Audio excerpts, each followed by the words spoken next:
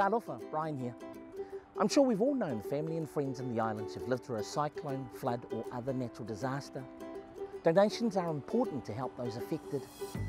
Did you know though that there are helpful and not so helpful ways to donate?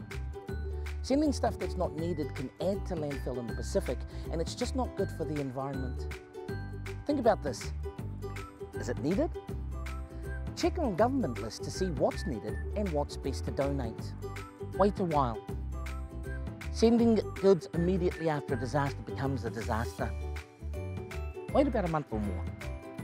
Don't send food. It's the islands, it's hot. Food will rot. Package properly. If it gets damaged, it gets dumped. Check with customs. If the paperwork ain't right, your donation becomes useless.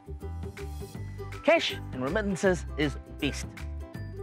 When you donate cash, it gets there fast and it helps your family decide what they need best.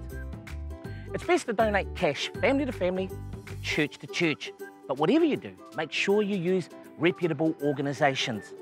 Organisations like Brian will send it. I promise forward slash maybe may not be the best option to donate through. Do your due diligence. If you need any more info, visit www.donateresponsibly.org.